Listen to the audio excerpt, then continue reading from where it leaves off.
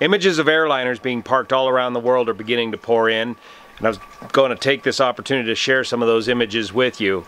Some of you are asking what kind of procedures do you got to do for these aircraft once you park them. We've got an interesting article here in the New York Times that sheds a little bit of light on that.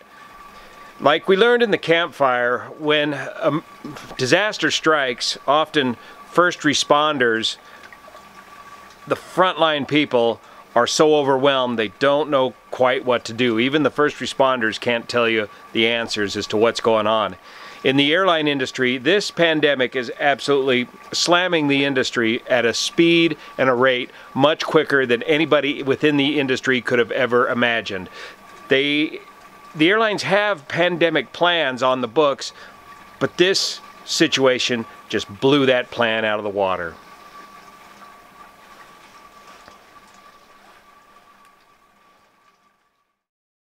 One of the most lucrative routes at American Airlines is the route between Los Angeles and JFK, New York, a route that I've had the privilege of operating for several years, back on the 7576 and later on the Airbus. American Airlines Flight 1 is the early morning departure. I think it leaves from New York to uh, Los Angeles.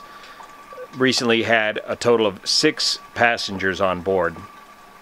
American scrambling parking aircraft and also trying to get into the cargo business, flying cargo from Dallas to Frankfurt.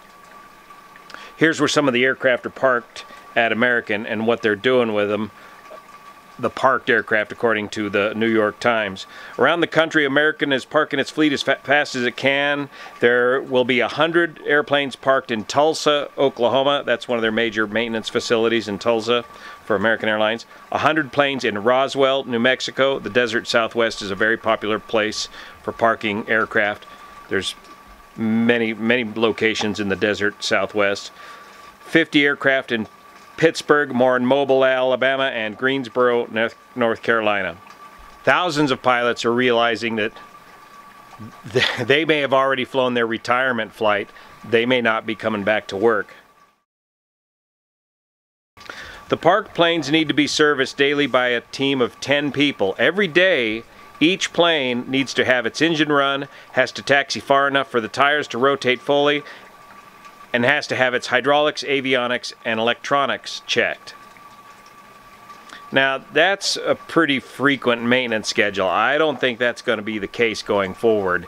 I think that's going to be reduced considerably. You don't need to operate the aircraft every day. It'll probably drop to a weekly schedule or something along those lines.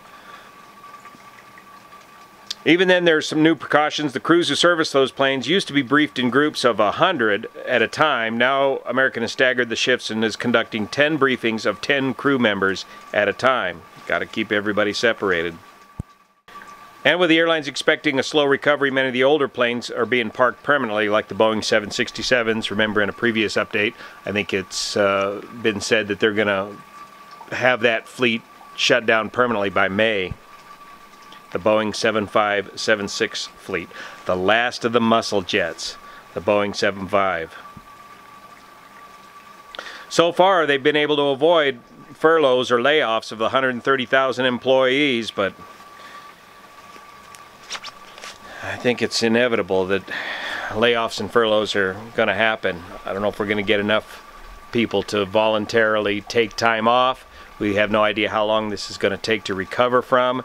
Even when we do recover, it's going to be a considerably different marketplace once they do. We get more information, we'll let you know. See you here. A little bit of light graupel here this afternoon. The mast to the Blancolirio yacht has snapped back to life once I got the load off of the mast. The mast appears to be fine.